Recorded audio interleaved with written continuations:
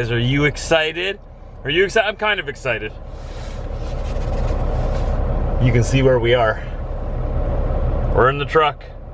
I'm excited because I miss it. I miss it a lot. I miss the road. I miss the highway. But at the same time, I don't want to go to work. Well, it looks like we're going to be going on a pretty good trip to get ourselves back into the swing of things. First off, we're taking a load of lumber down to Minnesota just to get us down there. And there's a nice load down there waiting for me that's, well, there's one of two. Uh, one going to Calgary, Alberta, one going to Vancouver, BC. I'd rather have the Vancouver, BC one myself. But whichever one is more pressing, I'm going to take. So uh, th those are our options. Either way, we're going Western Canada, and we'll be gone over the weekend. We'll be gone for a few days, probably all of next week. I'm guessing if I deliver in Vancouver or Calgary on Monday, that would get me back home, Probably by the end of next week. But I'm in no real rush, even though I don't really want to be away from home because I've been enjoying time with Britt and friends, and it's, it's going to be a little more difficult than the average trip to be away from her. I still need to get back into the swing of things here and start, you know, start adulting again. is what you got to do, right? You just got to get it done. So that, that's that's the plan right now. So I'm just hooking up to this load of lumber here. I'm gonna strap it down. It'll take me 10, 15 minutes tops. Got my paperwork waiting for me inside there. And I'm gonna go grab that and we're gonna head down to Minnesota. I'm not too sure where this is going in Minnesota yet. They just told me Minnesota. They just said that I'm taking this down there, like I said, just, just to get down there. There's a load waiting there for me. Because uh, it's better to take a load of lumber down than to go down empty, right? You always want something on your trailer. I'm just the driver. I just do what I'm told. I go where I'm told, when I'm told. Let's get this load strapped down. Let's see if I remember how to do this. Gonna have to get this truck washed. It's dirty. We are ready to rock and roll. Check it out. Nice and easy one to start off with, you know what I mean? Worked up a little bit of a sweat there. Whew. What is this work thing again? How does it happen? Oh, is it possible to lose shape? is that how you say it? Is it possible to get out of shape in a couple of weeks? Because I should not be sweating this much. Then again, it's hotter. It's hotter outside. There's no more snow around here, which is great. You know how much better trucking is when it's not cold? Trucking is a thousand times better when it's not cold. Just throwing that out there. Thousand times better. I'm having a hard time understanding what FedEx is doing there. Okay, so he's moving now. he just parked right in the middle of the driveway. There was a guy who like drove up there and had to back up. Now he's moving. I'm confused. Why? There are many questions this world has that have no answer. I guess it just means I'm back in the truck and I gotta deal with everybody else.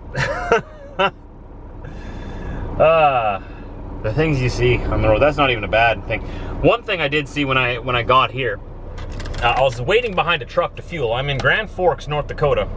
I wanted to fuel the truck, so I got in line behind someone, and the guy wouldn't move, wouldn't move up, wouldn't move up. I could tell he wasn't fueling. So I backed up.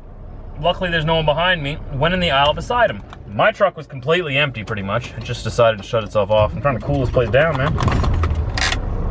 Almost completely empty. Took forever to fill up both tanks, right? And then I washed the windshield, threw out the garbage while that was going on, and then I pulled forward into a parking spot and walked diesel, went inside, went to Subway, bought Subway, looked around for a little bit, and then I see the driver of the truck that was in front of me, just shopping around. He was in line at Subway as well. He went and got Subway. He went and looked at, you know, the, the Bluetooth headsets for like 10 minutes. I was just watching this guy. I'm like, your truck has been in the pumps for over half an hour now. Over half an hour. You just parked in the pumps, went inside. What are you taking your half hour break? This parking lot, as you can see, is pretty empty. I mean, there's a couple of parking spots. I know they're a little tight. You might not want to back in there. It's a little tight, I understand, right? That one over there, a little, yeah, a little bit of room over there.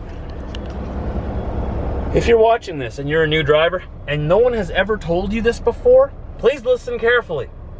When you are done fueling your truck, move it out of the fuel island. And if you're going to spend a half hour inside. Don't just park in front of the pumps either. Go and park in a parking spot like a regular, decent human being, please. All right, you've already got me ranting. It's my first day back. I'm already ranting. Why would you park in the pumps? It was. It had to have been at least 45 minutes that he was in there. Cause he was in the pumps when I got there already, and then I fueled did all my things, and I, I, I I'm ready to leave. He's still in the pumps behind me. Why? Like, isn't it common sense? Like, people want to fuel, and it's not like there's open fuel islands either. Every fuel island is full, and there's lineups behind you. Is this not common sense, or am I just too harsh? My first day back, I'm all riled up already. Why do people do that? If no one has told you this, look me in the eye right now. Move your truck to a parking spot for crying out loud people want to get some fuel, you go inside, have a shower, get in the subway, looking at Bluetooth headsets. I choose to believe that there are more good people than there are dumb people, or smart people than there are dumb people. But every once in a while, you run into someone really, really dumb. And you're just like, oh my, Lord, I pray for humanity.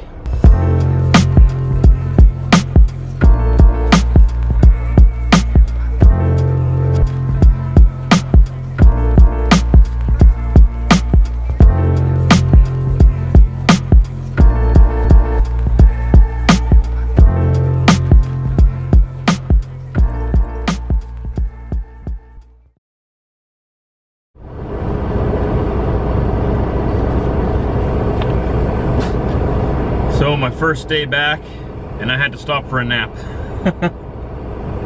We're in Fargo, North Dakota. I was gonna go into the Blue Beacon here and get a truck wash, but the lineup is all the way around the block pretty much. So I'm gonna be coming past here again tomorrow night. Probably pretty late, and it's open 24 hours, and I'm guessing the lineup won't be so long then. At least I'm hoping. But, oh well. I'm rested up, I'm ready to go. We got another three and a half hours. Let's get there. We gotta unload this wood in the morning.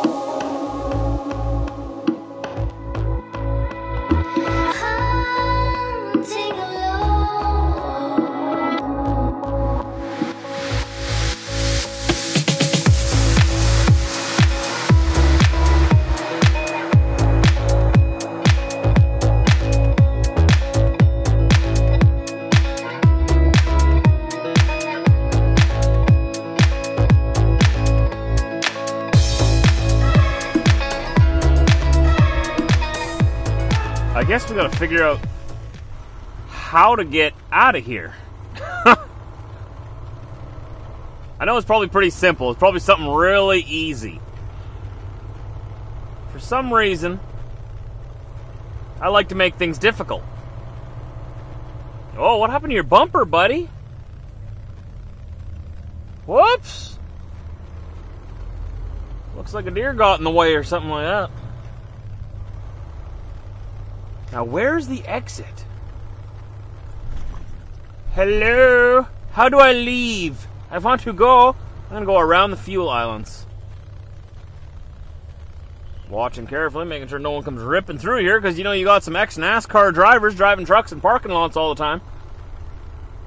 Either that or they're wannabe NASCAR drivers. I tell you what, actually, they're probably wannabes because real NASCAR drivers are a little smarter than that. What do you think, Diesel? What do you think? You eat your supper? Good boy. Good boy. Oh, there's the exit. Okay, what? So strange. I don't know. So we were at the Petro in Fargo, North Dakota here. Did not gotta go all the way over here. Where, where, where do people usually exit then? I guess from over there? Beside the scale? I guess I could have come through there. Huh. Okay, well, we figured it out. Let's make sure that we uh, check before entering the roadway. They put that sign right in the way, didn't they? There we go. Nobody coming.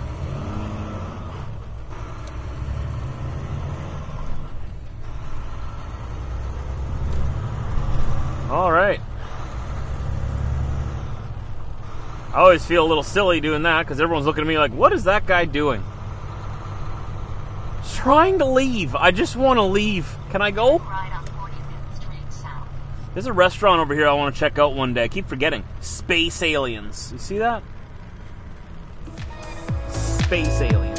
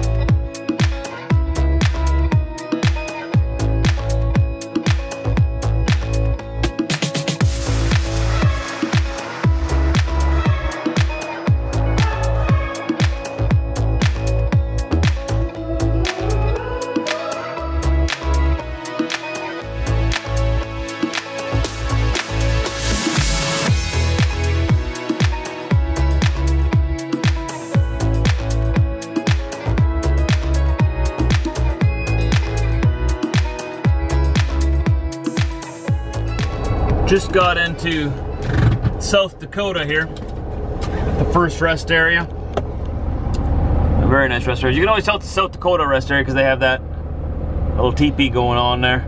Flags are at half staff today for uh, the death of Barbara Bush, I believe, the former First Lady. Wasn't there another First Lady, former First Lady that passed away recently? Nancy Reagan, right? So this would be two former first ladies that have passed away in the last 12 months or so. And from what I've read and from, from what I've heard, uh, George H.W. Bush, Barbara Bush's husband, uh, the past president of the U.S., he was a president, what, early 90s, right? Somewhere in there, before President Clinton. Uh, the relationship they had together was something to be admired, from what I've heard and from what I've read. I don't know all the details, not like I know them personally, but from what I've read, you know, uh, they were they had a strong marriage that you could look to as an example. And it's nice to see, you know. I read that Mr. Bush was at his wife's side as she passed away. It's nice to see that when a married couple sticks together right to the end. You know, until death do us part used to have a lot more meaning when people said them in their wedding vows. They actually meant it. And in today's society, those words seem to be a little bit more empty quite often. You know what I mean? A lot of people don't take them as seriously as they used to.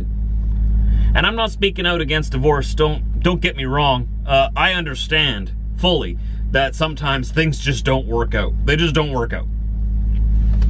All that I'm trying to say is it's really nice to see when it does work out. And you see a cute little old couple, you know, still holding hands. Together to the end, you know? Putting their differences aside and just growing together as a couple till the day they die. It's nice to see that. It doesn't happen that often anymore, so when I see that, regardless of who it is, whether they're past presidents or, you know, just a senior couple walking down the street. It's just nice to see when it actually does work out. This truck is really in disarray right now. I haven't had time to organize anything yet. But how you doing back there, Diesel? How you doing, buddy? Why are you wearing those funny glasses, man? You look funny. I know. It's for the vlog, buddy. It's all for the vlog. I will sacrifice my public image on the altar of making a good vlog. No? Whatever, you don't have to wear them. Don't complain. All right. Let us go. We have four hours remaining on our clock. We only have 246 kilometers left to go. Let's turn the interior lights off. There we go. All right. Get out of here. You ready to go, Diesel? You ready to go? Anybody out there on your side? Don't want to hit anybody.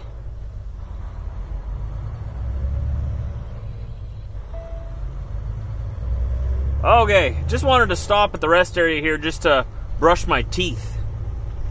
I'm trying to get into a better habit of brushing three times a day. I can create these habits and routines a lot easier when I'm on the road. It seems that when I'm at home, all of my routines go out the window. Just pulling into Marshall, Minnesota here. This is where I have to unload in the morning. I gotta find a place to park now. I hope something's open where I can like grab some milk before I go to bed yet. I just want a bottle of milk. Everything was closed in every small town leading up to here, so we'll see if I can find somewhere to park. This seems like a bit of a bigger city. Well, everything here seems to be closed. And I don't see any truck stops or anything around here. Beautiful town, though. Wow. Hashtag impressed. Wow, like look at that big old steeple up there, big old church.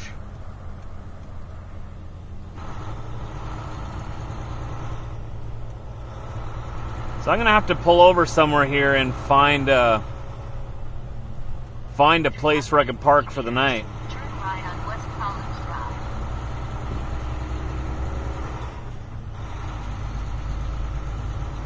I'm not seeing anything. Well, I'm downtown here. I can't stay downtown. Everything seems to be closed. Like there's nothing open, not even a convenience store? Huh. Looks like there's quite a bit of history in this town, though. Turn right on West College Drive. Okay, okay. Turn right on West College Drive. That's right here. Flashing red light means stop sign.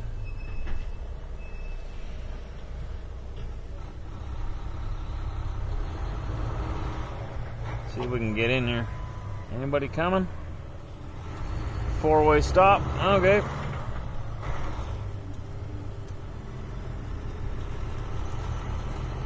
Hey, Diesel. Did I wake you up from your nap? Continue 600 meters. Then turn right on Artillery Drive. I'm gonna pull over and park here very soon. I gotta figure out where I'm gonna spend the night. Walmart. The only place in town I could find to park. And it's not like I'm the only one who thought the same thing. There's a guy there, more guys down there, more guys there. Tons of people here. It is what it is. It's the only place in town to park trucks. There's also more people over there yet too. Bunch of trucks decided to come make this home for the night.